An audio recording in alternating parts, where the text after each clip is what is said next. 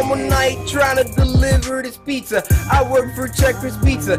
We make delicious pizza. Walked in the house and there was no one to be found. Just met a couple dolls and they started to play around. First, there it was Tiki, and she was kind of freaky. She disappeared behind but her breath was kind of stinky. So then Mr. Tatters the clown started to play around, and so I'm just trying to stand still before this clown makes me his meal. Now finally there is Chester. I'm buying time till he gestures. His laugh insane like a jester's. My pain death equals his pleasure. Pause. Emily, what do you want? I'm just a man. I do what I can. Wait, why is she running towards me? She has a Gun. Guys, this is the end. Samurai sucks for your man. The like by night is peace. Bars were too sick. Too bad they won't save my life. Cause tonight, 100% I'ma die.